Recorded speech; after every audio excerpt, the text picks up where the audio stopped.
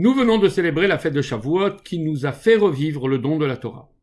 Les deux premiers commandements, je suis l'éternel ton Dieu et tu n'auras pas d'autre Dieu, résonnent encore et font écho aux 613 mitzvot. La Torah constitue un mode d'emploi de la création, avec 248 mitzvot positives qui ont pour fonction d'éclairer le monde et 365 interdits qui nous aident à faire le tri entre le bien et le mal. La tradition veut que le Shabbat qui suit la fête de Shavuot soit lu généralement la paracha de Nassau qui s'ouvre par le recensement de la famille de Gershon. Nassau et Drosh Bene Gershon recense les fils de Gershon. Le mot Nassau, qui dans ce contexte veut dire compte, signifie aussi en hébreu élève. En revivant Shavuot, rien n'est plus pareil.